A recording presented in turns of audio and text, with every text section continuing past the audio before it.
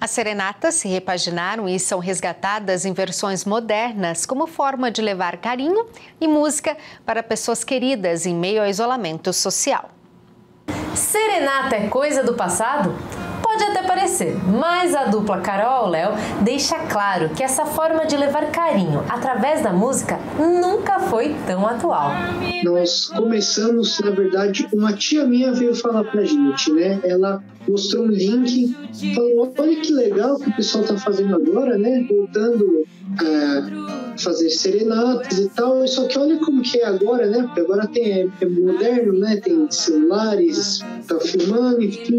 Aí ela já falou assim: ó, oh, seria legal vocês fazerem e eu já quero contratar uma já. Tipo, pra hoje, sei lá. Acho que foi algo assim, né? Aí falamos: ah, tudo bem.